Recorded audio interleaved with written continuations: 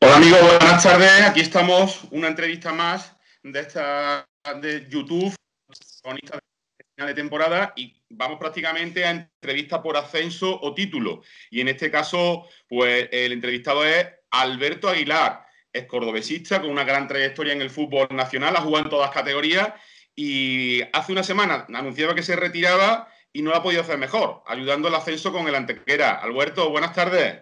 Hola, buenas tardes. Pues que vaya momento, ¿no? Para retirarte. Te habrán dicho ya más de uno que, no es el momento, ¿no?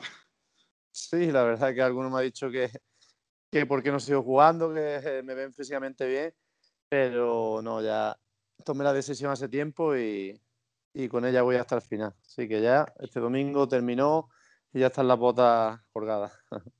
Y no pudo ser de mejor manera, ¿no? Ascendiendo a la Antequera con el que jugaste las tres últimas temporadas en, tercera división. Sí, la verdad que ni, soñándolo mil veces podría, podría darse así, ¿no? De jugar una final en el equipo donde me he estado las tres últimas temporadas, en tu estadio, ante un equipo donde pasé mucho tiempo y, la verdad que consiguiendo un ascenso de categoría que, que es el broche de oro, ¿no? A, a mi carrera. Fue como volver a tus orígenes, ¿no? Empezaste en el filial del Málaga, eh, debutaste en primera con 17 años con el Málaga y te despiden ante el Atlético Malagueño. Y el Málaga, evidentemente, tuvo un gran detalle, ¿no? Que estas cosas no se suelen ver mucho en el fútbol, ¿no? Sí, la verdad que fue un detalle, ya a mí la verdad que me sorprendió porque aunque estuve allí ocho, mm, ocho temporadas desde cadete, pero yo jugué dos temporadas en el filial en segunda división pero solo un partido con el primer equipo, ¿no? Y, el hecho de que el club en sí se acuerde de, un canterano como, como, fui yo, pues la verdad que fue un detalle que se lo agradeció públicamente porque para mí ha significado mucho, ¿no? Y yo creo que esas cosas son los que engrandecen a los clubes. Tu carrera ahí está, ¿no? Getafe en primera división, que fue donde jugaste más en la máxima categoría, luego Granada 74, Albacete, las tres temporadas del Córdoba, de las que hablaremos evidentemente, y, esa aventura en Australia, ¿no? Que se puede decir, bueno, y en Chipre también, recuerdo también la de Chipre, que ha jugado en todos sitios. Sí, sí, en el fútbol español desde preferente que jugaba algunos partidos con el equipo de mi pueblo falsificado, tercera, segunda vez, segunda y primera, y luego pues dos años de experiencia en el extranjero como, como fue Australia y Chipre. ¿Qué, te queda del fútbol sobre el césped? Porque me imagino que ahora hablaremos también, va a seguir vinculado al mundo del fútbol, ¿no? Sí, bueno, sobre el césped no podría decirte porque la verdad que ya le he comentado a algún compañero tuyo que, que cierras tu etapa de futbolista y te encuentras con un montón de cosas que recordás que durante tu vida como futbolista no, no la valoras, pero ahora miras la vista atrás o ves fotos que, que tiene uno aquí en casa y son momentos inolvidables. Y bueno, y sí que es verdad que llevo toda mi vida ligado al fútbol, no he jugado al fútbol por trabajo, ni por, ni por necesidad, ni simplemente porque el fútbol ha sido mi pasión desde pequeño y he tenido la, gran suerte de poder dedicarme a ello. Pero te digo que, igual, ¿no? Que el fútbol me encanta desde, desde, desde niño hasta cualquier partido que echas en la tele y es difícil que me pueda desvincular de él porque eh, dices que, no era por dinero, pero al final ha sido tu profesión principal, es evidente, ¿no? Porque lo has acreditado como tal. Y en la retina de muchos eh, mm, amantes del fútbol siempre estará esa jugada que siempre da la vuelta al mundo por ser con quien te tocó allí en el Getafe, en esa jugada magnífica de Messi maradoniana, que muchos de los más jóvenes cordobesistas igual no la recuerdan, pero aquello fue, fue ser testigo de la historia, ¿no? Sí, la verdad que me, que me pilló en ese momento, me han pillado un momento mítico en, la historia del fútbol español y ese fue uno de ellos. Eh, es verdad que ahora con el paso del tiempo ve esa jugada que la pone en cualquier medio o algo y tengo a mi niño aquí y le digo, mira, ahí está papá. Y es una cosa que, se queda ahí para, el recuerdo y para la historia, ¿no? Fueron tres años muy, muy grandes, era cuando el Getafe empezaba a, marcar una época, ¿no? Porque nadie que le iba a decir luego que el Getafe iba a ir a Europa y demás y, lo que es el fútbol, ¿no? ¿Quién te iba a decir que luego te iba a enfrentar otra vez a Messi en, el en tu Arcángel y, en el Nou Camp, ¿no? Con el Córdoba, ¿no? Vaya, eso, ese partido ha sido sin duda uno de los partidos más, más importantes de mi carrera. No por lo que nos jugamos en sí, sino por el momento, el ambiente, estar rodeado de, un arcángel lleno, luego verte en el campo con muchos amigos y cordobeses, que, ese partido, no sé si estábamos cinco o seis jugando juntos, el día que fue, la familia, el himno sonando, todo, la verdad que fue, y ante un Barça como, como tú bien dices, un Barça de categoría, ¿no? Con jugadores como Messi, Xavi, Thiago, bueno, fue brutal, una noche para recuerdo. Y tú de capitán con Puyol posando en la foto, eso tampoco es, eso no se olvida nunca. Sí, esa fue, esa fue en la vuelta, esa fue en el Camp Nou. En, el, en el Arcángel el capitán fue, eh, fue Gaspar. Sí, sí, pues eso iba a decir, has dicho que estaba Juan Fuentes, estaba Federico, muy niño creo, como mínimo estaban esos cuatro, ¿no? Pues mira, eh, te digo un poco, Miquel Saizar de portero, y luego la defensa era Fernández por la derecha, Gaspar y yo de centrales, Fuentes por la izquierda. Luego estaba Federico, eh, no sé si Javier Valle va a jugar. No, Javier Valle ese partido no estaba. No sé, pero por lo menos la defensa te garantizo que éramos los cuatro cordobeses. Más Federico que jugó ese partido titular. Luego estaba López Garay, jugó también Pedro, Renela. Sí. Un, muy buen equipo. La verdad que echamos la mirada atrás a los cordobesistas y, nos vemos dónde estamos, porque es lo que viene ahora, lo que te iba a preguntar, y, y es increíble, ¿no? Como el Córdoba no sé si sabes el dato, lo dimos en Córdoba Deporte hace una semana. Es el club español que más categorías ha perdido en menos tiempo sin que haya mediado un, descenso administrativo, como por ejemplo le puede pasar al Jerez o al Burgos en su día. O sea, ha pasado en siete años de primera división a la cuarta nueva esta categoría que se va a crear, la segunda red, que a la antequera le va a saber a Gloria, pero claro, a Córdoba no le puede saber más que a descenso y, duro. Evidentemente, ¿no? El Córdoba no, no es club ni es ciudad de, esta categoría, pero el fútbol ya sabe que cuando las cosas no se hacen bien, al final terminas pagándolas, ¿no? Y no por mucho que, tapes tus carencias con un ascenso, si, si cuando consigues un ascenso no pones los pies en el suelo y, y haces las cosas bien, al final terminas pagándolo, porque ya sabes que el fútbol no siempre dos más dos no son cuatro, incluso haciendo las cosas bien cuesta mucho trabajo.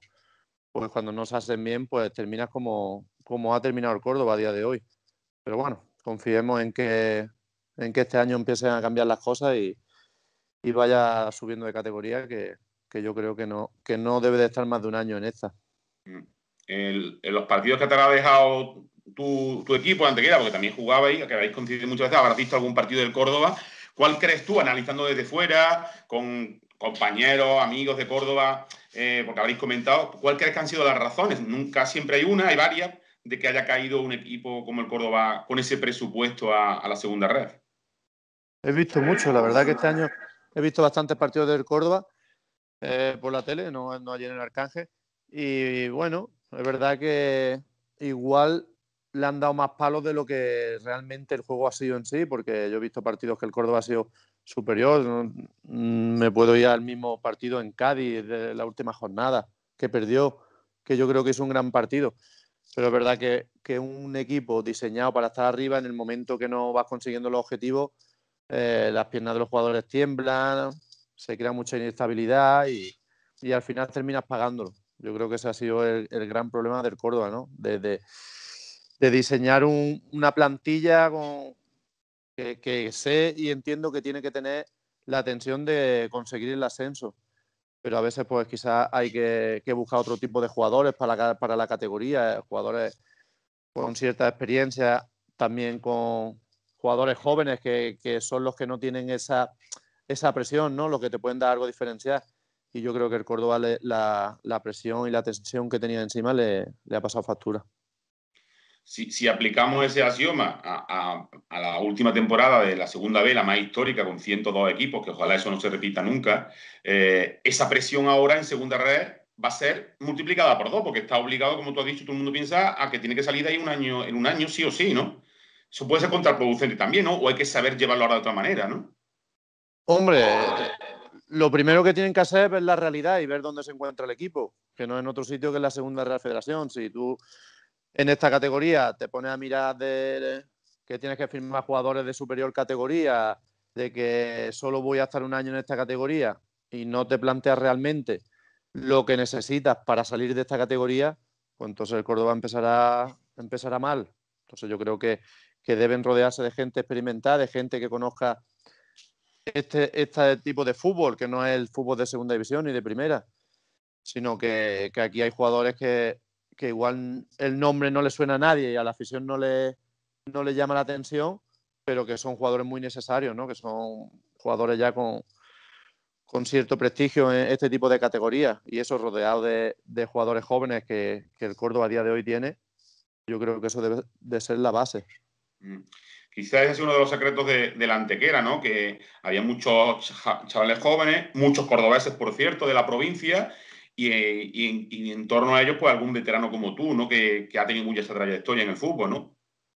Sí, bueno, yo soy de la filosofía que yo comparto que en el fútbol no, se debe mirar nunca la edad de, la plantilla ni de los jugadores, porque al final el entrenador no debe de, guiarse por eso, a mi punto de vista, ¿eh? que cada uno, sino que si tienes 20 jugadores, los, 11 que mejor estén, tengan 18, 17 o 42 años, son los que tienen que jugar, pero sí que es verdad que el plus de, jugadores que sepan competir en campos donde no han competido en su vida, porque han estado en otras categorías, pues eso te da mucho, ¿no? Porque en esta categoría te vas a encontrar campos que quizás algunos jugadores de la primera plantilla del Córdoba este año no, han pisado nunca, campos de, de artificial, campos pequeños, campos donde hay que jugar otra cosa. Eso es lo que, el Córdoba tiene que conseguir, ¿no? Mm, y, entre ellos no precisamente el de la Antequera, que el de la Antequera va a ser uno de los más dignos de los que se va a, a pisar, ¿no? Que lo recuerdo de algún, de algún otro partido de pretemporada el último año, ¿no? Sí, el campo de Antequera, hombre, en dimensiones, césped y todo, eh, es un campo digno de, esta categoría. Mm, no te quiero decir que los otros no sean dignos, pero verdad que, que cuesta mucho asimilar de jugar un domingo al Arcángel a jugar luego en un al domingo siguiente jugar en un campo de césped artificial con poca gente, un campo pequeño, que tú estás acostumbrado a jugar en el Arcángel, en el Arcángel una cosa y ahora tienes que cambiar el rol. Entonces yo creo que ahí va a estar la clave de, del éxito del Córdoba o del fracaso. Mm. Hemos estado hablando antes de cordobeses, Alberto. Eh, mm, recordarás, habrás leído mucho, te lo han contado. La única temporada que el Córdoba está en tercera fue, digamos, una vuelta a los orígenes. Buscar a muchos cordobeses que estaban por ahí. Pepín estaba entonces en primera división con el Valladolid. Lo hemos repetido mucho. Eh, Mariano Mansilla, los jóvenes que salieron entonces. Rica, Juan Luna Lava. Eh, Coco, que venía del Pozo Blanco, no era, no era tan joven. Fue una conversión de cordobeses. ¿Tú crees que eso ahora es posible? tanto, por veteranos que estén por ahí, no, porque ya a no ser que te podamos convencer todavía y no te retires, O, jóvenes, o jóvenes de cordobeses que digamos que le den identidad al, equipo. Eh, yo pienso, a ver, ya sabemos todos que Córdoba es un semillero muy bueno de futbolistas, ¿no? Y, y, hay futbolistas muy preparados para jugar en el Córdoba. Es cierto que también llenar el equipo de cordobeses es doble presión, porque al final el jugador que es de Córdoba, que tiene su familia allí, cuando en el momento que las cosas no van bien, se complica todo, ¿no? Porque yo este año, por ejemplo, me pongo en el papel de Javi Flores, por ejemplo. Estoy completamente segurísimo que es el que peor lo ha pasado de la plantilla o uno de los peores, porque él es de allí, es su familia, todo. En el momento que las cosas van mal, el chaval, pues, si va por Córdoba, le dicen cuatro cosas, al final se crea una tensión que, que es difícil de sobrellevar pero también es verdad que, el jugador cordobés no va a querer otra cosa y va a luchar y va a poner todo de, vamos, todo lo que tenga porque el equipo de su tierra vaya bien. La verdad que has puesto un buen ejemplo, ¿no? Porque Javi deja en su momento de jugar en, segunda división y fíjate luego con el Elche que ascienden, eh, si se hubiera quedado allí porque tenía contrato a primera división, o Bernardo que estaba deseando de que vuelve este año para con toda la ilusión de su vida volver a su casa para llegar lo más lejos posible y se encuentran todo lo contrario, ¿no? Y eso es que es un doble palo, digamos, ¿no? Claro, es un doble palo y a la, misma vez es muy difícil para ellos, ¿no? Porque ya te digo que, los demás no es que no lo pasen mal, porque ningún jugador quiere descender o quiere hacer una mala temporada, todo lo contrario. Pero no es lo mismo estar rodeado de todos cordobeses, de gente que siente en el corazón al Córdoba, que, a veces un futbolista cuando se pierde un partido lo que necesita es desconectar por completo y volver a cargar las pilas. Y eso siendo de, Córdoba es difícil, ¿no? Porque lo pasan mal, porque el equipo de tu infancia, el equipo de tu ciudad, y lo, que, lo único que quieres es que vaya bien. Entonces, eh, ha tenido que ser muy complicado este año para, jugadores cordobeses. Eh, nos vamos, echamos un poco la mirada atrás. Alberto, tus tres años en el Córdoba, llegas procedente de Albacete en la temporada 12-13 y sin lugar a dudas es la más difícil, ¿no? Porque es la última de Lucas Alcaraz y es la que por primera vez el Córdoba ya entra en concurso acreedores al final y, el equipo iba bien, pero claro, eh, ya se notaba que iba a, haber, iba a haber venta del club y al final se sufrió bastante, no sé, la salvación esa con Las Palmas creo que fue, ¿no? Sí, así es, bueno. Eh, yo desde que el año que yo llego con la directiva de Salinas y demás, la verdad que yo llegué muy ilusionado porque, hombre, porque ves que está rodeado de gente de, allí, de la tierra. Incluso se, había bastantes jugadores cordobeses. Y con Lucas Alcaraz yo creo que se hicieron las cosas bastante bien. Pero luego el fútbol ya sabe que incluso haciéndolo bien es muy difícil, más en una categoría como segunda. Luego se terminó esa temporada, que nos salvamos, y, entró Carlos González, se creó un poco de inestabilidad, pero se encontraron ahí con dos piezas fundamentales, como fue Luna en Lava y Paco Geme, que cogieron el toro por los cuernos y sacaron rendimiento hasta de lutillero. De verdad, eso fue, fue tremendo, porque yo me acuerdo esa pretemporada en la manga, que nos mirábamos uno a los otros, había más equipos allí concentrados, como el Cartagena, había más equipos allí en la manga. Extranjeros, había varios. Mm. Y, veíamos que, coño, pero si viene Patiño de tercera división, viene Charles de. Bueno, Charles vino conmigo, pero que eran jugadores que venían de segunda B, algunos de tercera. Y decíamos, este año va a costar la vida, ¿eh? Pero ya te digo, tanto Luna Lava como, como Paco, ahí no, no hubo ni un segundo para pensar en, en nada, nada más que en trabajo, trabajo, trabajo, trabajo, más trabajo y partido a partido y la verdad que fue un año tremendo. Te iba a preguntar, eh, sin duda, eh, de tu etapa cordobesita de estos tres años, te quedas con esos partidos de la Copa Mola, de los dos del Barça, pero tengo mi duda, si esos dos partidos que fueron en la temporada 12-13, la última ya con Berger, el principio de entrenador, o con esa etapa con Paco y Juan, en la que se jugó al fútbol de maravilla, ¿no? Es que yo creo que el cordobesismo eh, lo disfrutó más en ese año que incluso cuando subió que en la temporada en primera.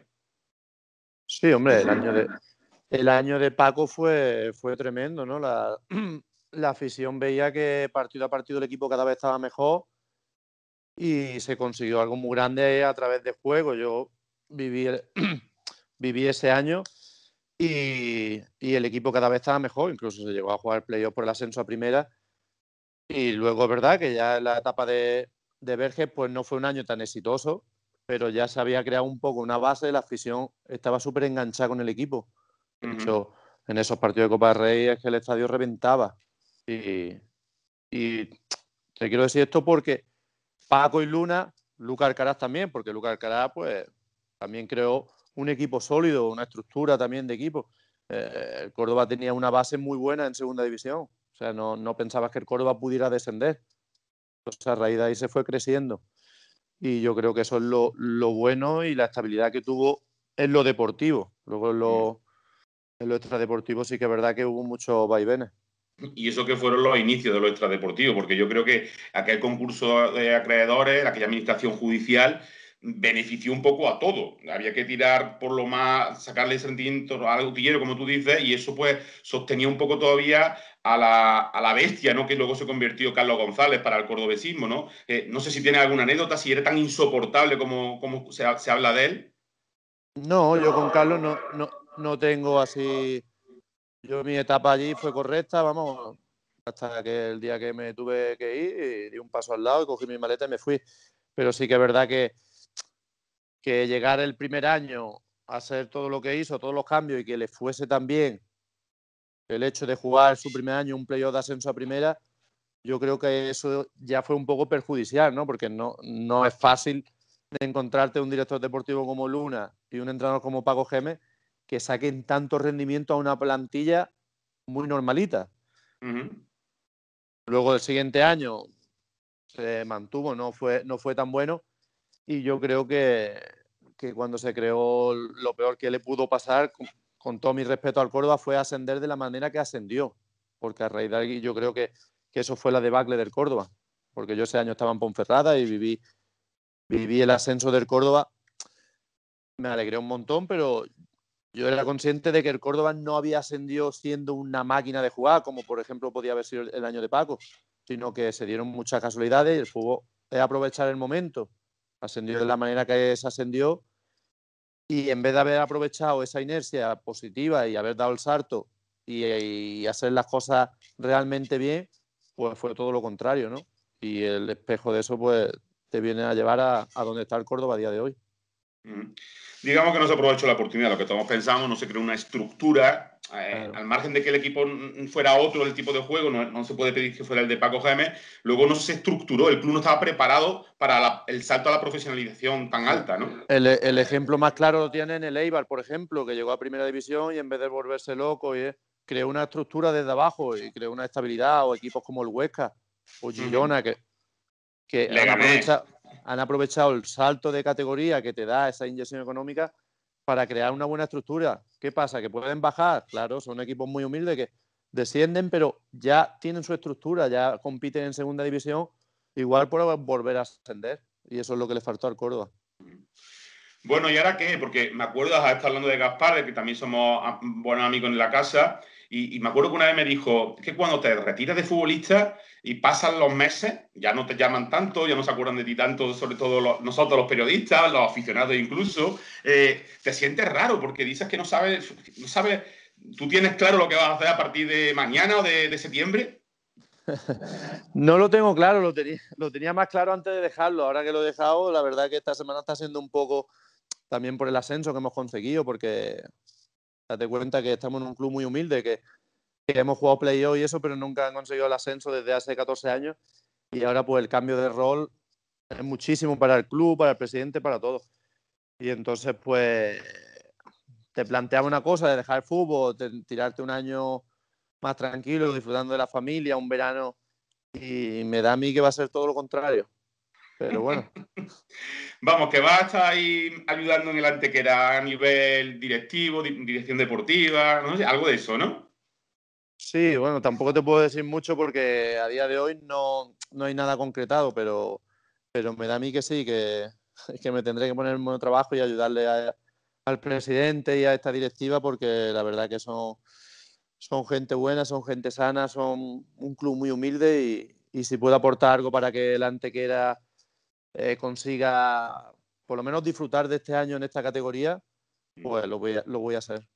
Y, me imagino que ahí a, nivel tuyo, ahí en Benamejí, no sé si te has planteado o, tenías ya algún tipo de escuela de fútbol, pues, que, por ejemplo eso lo ha hecho muchos futbolistas como Gaspar o, Fue, o Juan Juan Fuentes, no sé tú qué tienes en mente. Sí, yo, yo suelo hacerlo durante los meses de verano, durante el mes de julio, pues hacemos una escuela de fútbol y tanto para los niños de aquí del pueblo como de los pueblos cercanos pero vamos, es todo más formativo, más diversión, que no es como una escuela en sí de competir ni nada. Es simplemente porque yo creo que pues, los niños lo que deben de hacer es disfrutar del fútbol y, eso es lo que intento durante unas tres semanas, pues disfrutar, que los niños disfruten del fútbol y yo disfrutar con ellos. Y lo que tenga que venir vendrá, ¿no? Eh, ¿te, tiran más los banquillos o, o la dirección deportiva? No, no, los banquillos. Me gusta más, me gusta más estar cerca de, del césped y, creo que he aprendido mucho durante todo este año de diferentes sitios y, me gustaría algún día, pues, lo poquito que pueda aportar a jugadores para que les sirva en un futuro, pues, me gustaría, me gustaría enseñarlo. Sacarte el carnet que te faltará al último nivel y, poco más, ¿no? A que te den ya una oportunidad, que, eso no es fácil, ¿eh? Porque mira que hay entrenadores, ¿eh? Sí, sí, bueno, es un mundo ya de... que hay muchísimos entrenadores y, y conseguir una oportunidad en, en, categorías como, ya no te hablo como la segunda, sino la tercera, segunda federación, es difícil, pero bueno, ya en el futuro se verá. Bueno, Alberto, pues nada, que encantado de estar con un ratito contigo de, charla, porque más de entrevistas esto más distendido y demás, de darte la enhorabuena, ¿no? Porque es ponerle una guinda a una gran carrera, ¿no? Conseguiste el ascenso con el filial del Málaga con 17 años y ahora consigues otro ascenso, ha sido tu todo ascenso de, de tu vida que muchas veces incluso son más bonitos esos recuerdos que a lo mejor ves en primera división de una manera más, más habitual esas tres temporadas, ¿no? Que, o todas que están en segunda A, que son infinidad, pero esos, esos ascensos marcan, ¿no? También nos lo decía el otro día Javi Lara, que también con 35 años prácticamente como tú, solo consiguió un ascenso en su vida, que fue el otro la, hace dos semanas con el Ibiza, y eso no se olvida nunca, ¿no? Sí, te marcan, te marcan muchísimo porque, como tú has dicho, conseguí siendo juvenil, un campeonato de España y luego el ascenso con el Málaga B, pero luego jugamos una final de Copa del Rey en el Bernabéu, Getafe-Sevilla, la perdí. Jugamos la fase de ascenso con el Córdoba, no conseguimos ascender. Luego fui a Australia, jugamos la final de la liga, allí ante 80.000 personas. Tampoco la gané. Y con el Cartagena nos llevamos un palo tremendo del ascenso a, segunda división, perderlo por un gol en propia puerta el minuto casi 97. También fue un palo. Y este, pues, era el último día, el, último momento. Y me preguntaban, oye, ¿has preparado algo por si ascendemos? digo, no, nada, serio, no quiero saber nada. Quiero que llegue el partido, que se juegue y después del partido ya se verá. Y mira, pues hemos tenido la suerte de ascender y la verdad que me voy de la mejor manera. Al final, el, fútbol modesto, el fútbol rural, el popular, como se le llama ahora, que con esta frase de odio eterno al fútbol moderno, es el que te da la alegría, ¿no? o sea, porque no puedes conseguir éxito, es muy difícil, sobre todo ser campeón de algo, y al final un ascenso es que se asimila a un título. Sí, y más, en, y más en clubes humildes donde, donde no hay capacidad económica, donde ves gente que llevan años ahí que les cuesta hasta el dinero, trabajar, estar en el club y, y, termina un partido, los ves abrazándose, los ves llorar. Eso es muy bonito, eso es muy bonito más que cualquier club grande, que todo se mueva a base de dinero, de fichar jugadores y demás. Es que tú ves, por ejemplo, en Antequera que se hacen cosas. Perdona, David, que se cortó que se, hace, se hacen cosas que, que son muy bonitas, de, intentar sacar dinero de debajo de las piedras para poder pagarle al utillero o para tener la ropa en condiciones o para, muchas cosas. Y, y, todo eso termina la temporada y ves que todo el mundo está celebrando eso, pues es el fútbol bonito también. Muy bien, Alberto, pues lo dicho, un abrazo y que te vaya bonito en tu nueva etapa. Muchas gracias, David. Un fuerte abrazo y nada, gracias por acordaros. Hasta luego.